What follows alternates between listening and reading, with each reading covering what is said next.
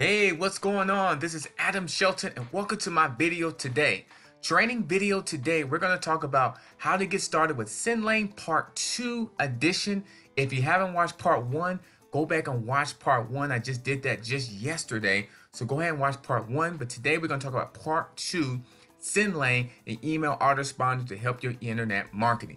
If this is your first time here at this channel, go ahead and hit the red subscribe button and go ahead and hit the bell right next to the subscribe button right below this video to get videos just like this. Like, comment, and subscribe because when I do videos, I want you to see videos just like this. Now, today's video, you know what time it is. I'm Adam Shelton, and let's go ahead and dive into SendLane Part 2, how to get started. Well, like I said in the other video, SendLane is based out of Chicago and is a very good email autoresponder, especially affiliate marketers, network marketers, or any type of online business when it comes to emailing your list and getting subscribers, engaging in that list because SendLane definitely has the tools to do that. So let's go ahead and let me log in right now. Now, part one, like a little recap, we talked about the overview. So we talked about logging into SendLane. And right below this video, I do have a link you can go ahead and get started, your 14-day free trial. You can go ahead and try it out yourself. Up to 100 contacts you can go ahead and load in and start emailing your list. Now, in part one, we talked about the dashboard. I really like the dashboard because it has pretty much, you know, data-driven numbers right in front of you. You have your audience growth, you have your revenue engagement, and you have your recently sent campaigns, which are basically broadcasting your emails. That's what we're going to go over today. We're going to go over just sending a basic email to your list. Now, the next thing we talked about was make sure your settings were good, make sure your name and address and phone numbers, and that could be right under here, right there. And then also, we went under audience, and yesterday we went over just adding contacts and important lists, important your leads into a list.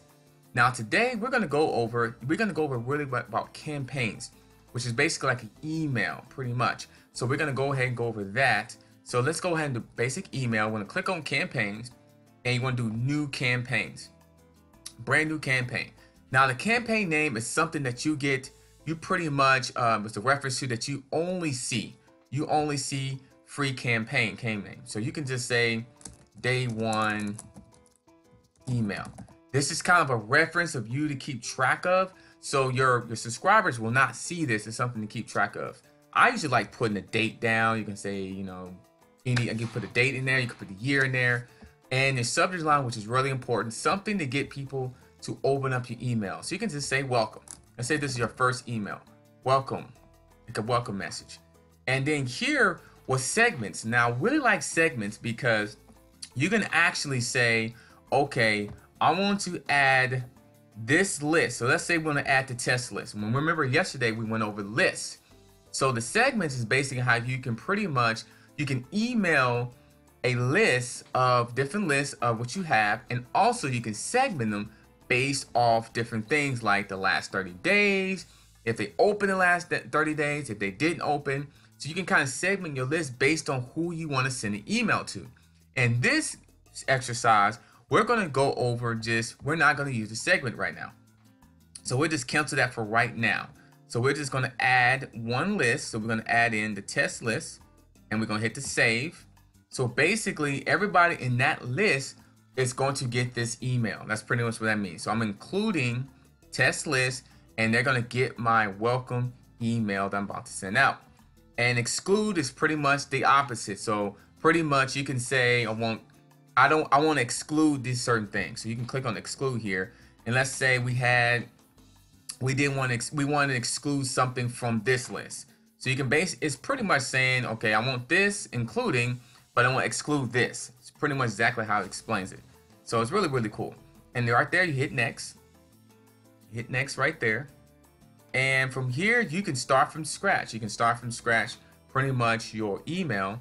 And that's what I did. I pretty much start from scratch. I found something really easy. But you can use any of these type of templates here. You can use any pre-designed templates that can you use.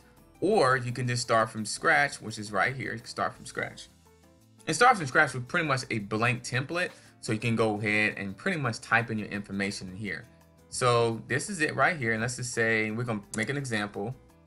Test hello and welcome. So this is just a test email. And it's pretty much simple. You can just type in, and right here, what you want to do, you can change the actually size of it. So we can change the size of it. You can actually bold it. You can highlight it here. You can bold bold your message.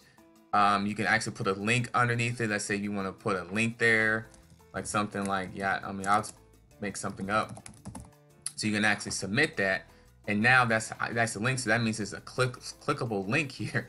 So you can do submit here. So that's it's very very easy, and this is what it looks like right there. Just click there, and you also can send a test email. You can preview and can save and continue. And all this is basically just different settings of how you want to set it up. So section here, you can actually put another block here if you need to. Um, and then you can add text there.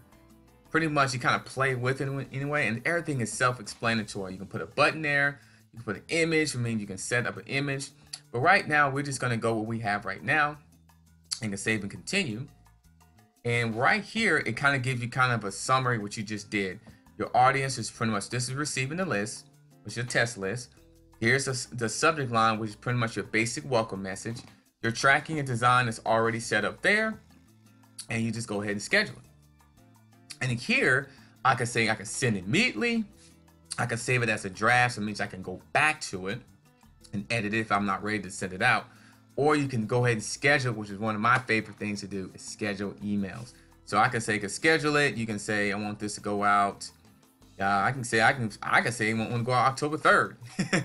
I can say go October third and send that out, and I can save it, and it's all saved. And right here, Pam, right here, day one email, it is saved to go on October third, 2019. You like that? It's pretty cool, right? There's nothing to it. Like SendLane is really easy to understand, and they got a good customer service help desk. Let me look right here. So if you click right here, it will basically, if you click on here, it basically helps you out in terms of answer to anything you have. So any basic inf uh, information is right here. You actually ask questions just like right there. And one of these these fine attendants, they, they basically got information for me. I definitely hit them up on different questions about SendLane, especially when I first signed up. And that's one reason why I'm doing this this video because all the beginners out there that that sign up for SendLane or they need an email autoresponder, they're just brand new I want to let them know that SendLane is definitely a good autoresponder to use. It's got really good customer service support. It's really to understand, and the delivery rates have been really, really good as well. They've been rated being really one of the best deliverable open rates out there. So that's one little information for you. Let me go ahead and close this and move this back here. And so yes, so today's message, we went over to, um, we built a basic email, we send it out. Actually, we scheduled it, and we talked a little bit about segments. Now, Tomorrow's video, I'm going to go over and we're going to go over some of the reporting, you know, mechanism of SendLane and a little bit more details about SendLane and how to use it effectively in terms of reporting. So stay tuned for tomorrow's message. But right below this video, I do have a 14-day free trial that you can sign up for SendLane and test it out for yourself. 14-day free trial. Go ahead and, and test that out and go ahead and start playing around with it. Go back and watch this video if you need to in terms of like how to email a basic you know, campaign, broadcast your emails each and every single day. So tomorrow's video, we're going to talk about reports. And actually, you know what? We may talk a little bit about automation. That might be the part four edition will be automation. So stay tuned to tomorrow's message. Have a good night. And don't forget to click on the link below, like, comment, and subscribe. And I'll see you in tomorrow's video.